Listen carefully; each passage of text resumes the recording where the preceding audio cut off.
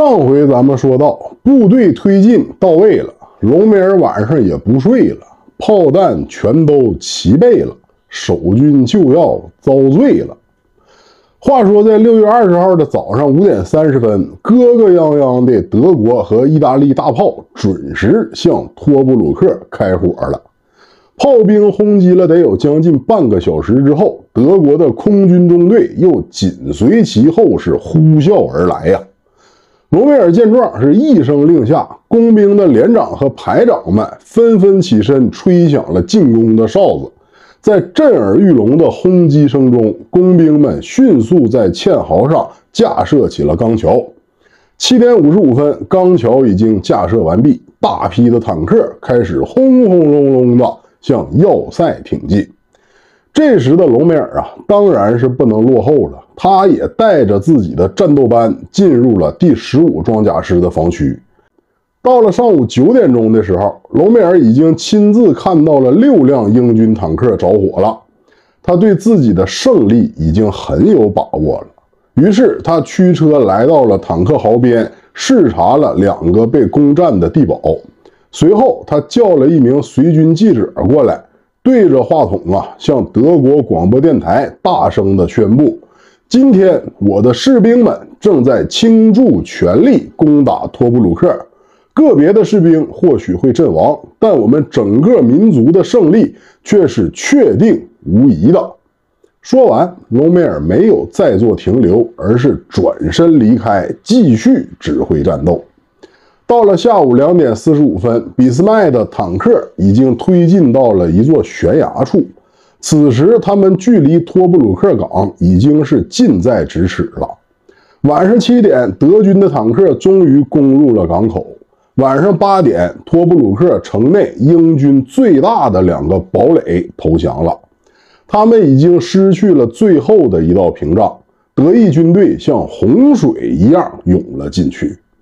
托布鲁克陷落了，德意军队长期以来积聚的仇恨喷射出比炮火还要猛烈的火焰，整个古城在月色下是瑟瑟发抖啊！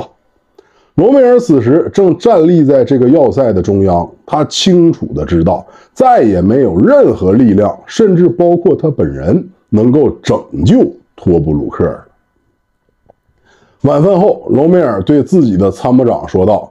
你知道，赢得这样的胜利，并非仅仅是指挥上的成功，你还需要有愿意接受你下达给他们的任何一个强制性命令的士兵，一种无论是免职、艰辛战斗，甚至死亡都在所不惜的士兵。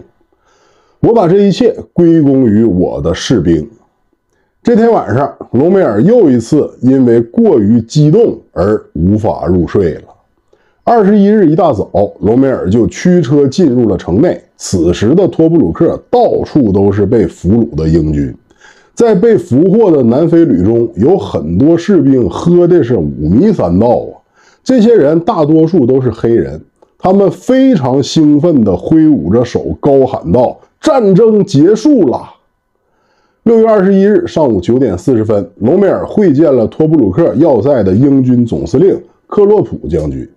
克洛普向隆美尔呈上了降书，并说明他已经命令停止一切抵抗。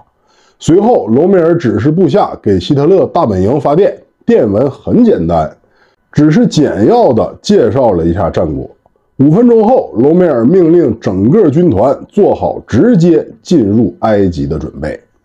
六月二十一日，由于托布鲁克的迅速崩溃，使英军陷入了十分慌乱的境地。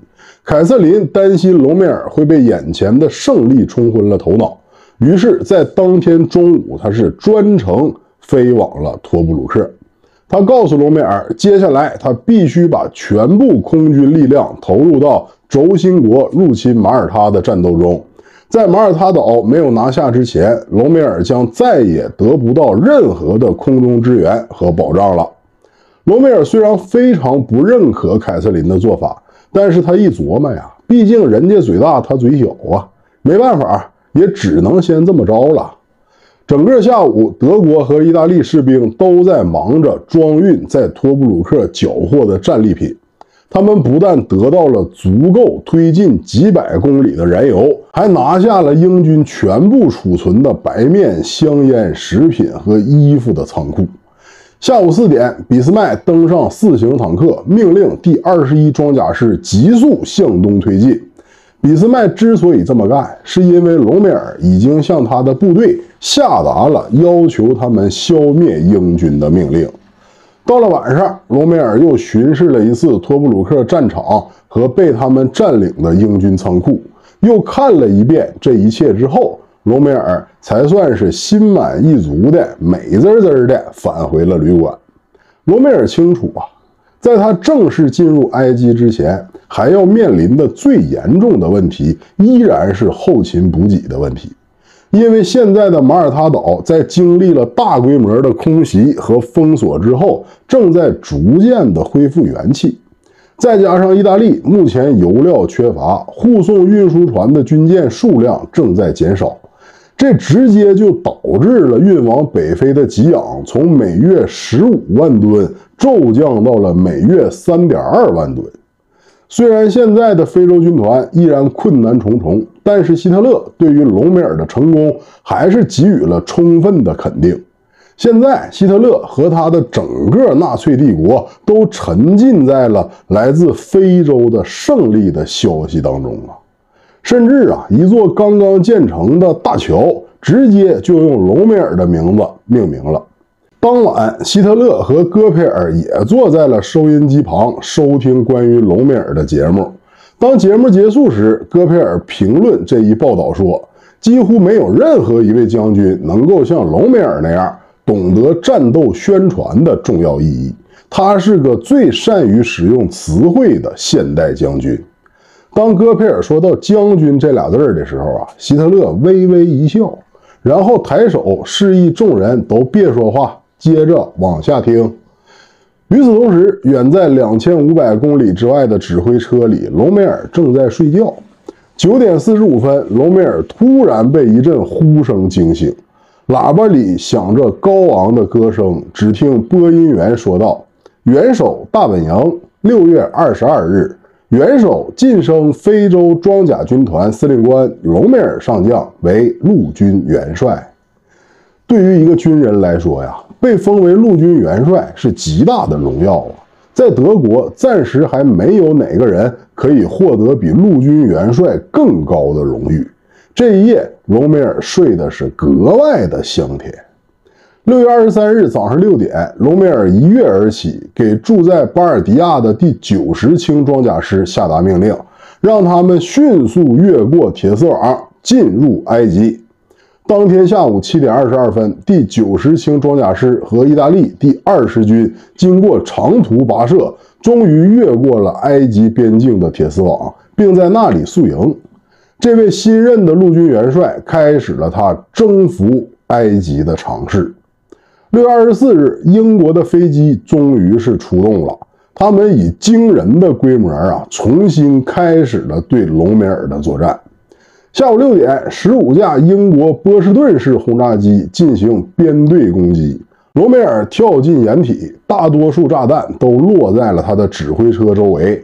罗梅尔元帅现在根本就不害怕危险，现在在他的心里，那只有两个字儿，就是进攻。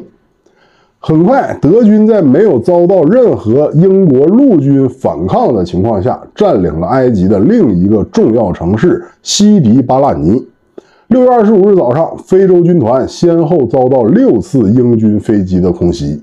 接着一连几天，英军前来空袭的次数在不断的增加。意大利的许多军官相继在空袭中丧命。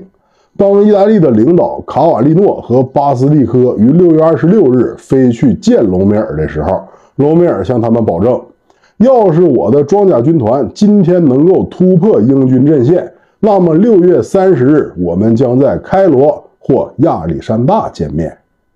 六月二十九日一大早，隆美尔攻克了马特鲁，在那里，德军抓获了约有两千名的俘虏。此时，隆美尔刚刚从无线电侦破的情报里获悉，英军正在悄悄地向东撤退，追上他们。他给非洲军团下达了命令。可是这玩意儿，他说着容易，做着难呐。人家英军虽然怂，但是他不傻呀。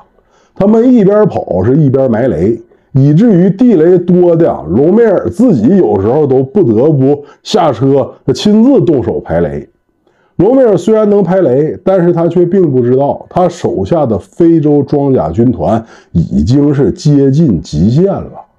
六月三十那天，就有许多迹象表明，他的部队实在是有点扛不住了。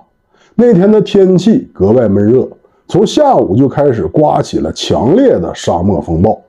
风暴中，隆美尔的汽车两次遭到英军的轰炸和扫射，好在他们并没有伤到隆美尔。随后，经过丧心病狂的向前猛冲，德军终于抵达了距离亚历山大仅有不足二百公里的地方。打开地图，隆美尔清楚地看到。在他的前面，英军已经撤到了阿拉曼火车站，这已经是英军退回尼罗河前的最后一个防御阵地了。三十号下午，罗梅尔宣布要在七月一日凌晨三点向英军发起进攻。没有吉昂，没有空军，罗梅尔这次攻打埃及的行动到底能成功吗？关注老关，咱们下集接着聊。